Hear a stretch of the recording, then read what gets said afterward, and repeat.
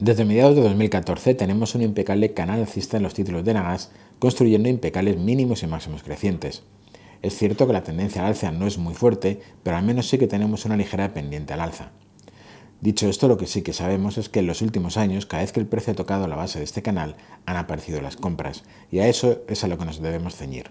De hecho, lo que nos ha demostrado el precio en varias ocasiones es que cada vez que toca la base del canal, los precios tienden a rebotar con fuerza y en este momento la base del canal alcista la encontramos en los aproximadamente 22,40 euros.